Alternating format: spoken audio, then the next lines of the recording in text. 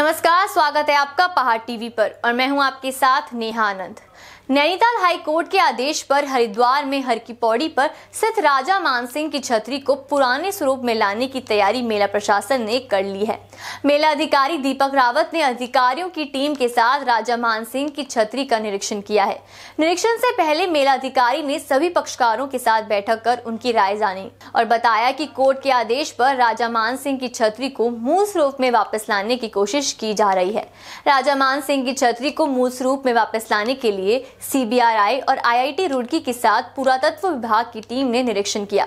इस दौरान मेला अधिकारी ने बताया कि इमारत की मजबूती का पता लगाया जा रहा है और ज़रूरत पड़ने पर इमारत को पुरानी तर्ज पर दोबारा बनाया जाएगा। देखिए, इस मुद्दे से तो आप पहले से ही आप भिज्ञ हैं कि जो ऑनरेबल हाई कोर्ट के एक तरह से ऑर्डर्स हैं कि जो राजा मानसिंह की छतरी है, इसका जो पुराना स्वरूप था, उसको कैसे रेस्टोर करना है? अब देखना इसमें केवल ये है कि जो इसका स्ट्रक्चर अभी अंदर से पुराना वाला है, क्या वो इतना मज़बूत है कि अगर हम उसको रेस्टोर करते हैं तो वो खुद ब खुद अपना भार झेल लेगा, खुद ब खुद स्टेबल रहेगा, मौसम ख़राब होगा, बारिशें होंगी तो उसको ठीक से सह सकता है या नहीं? अगर ये सह सकता है और ऐसी रिपोर्ट हमें एक्सपर्ट्स दे देते हैं तो हम उसी को रेस्टोर कर देंगे।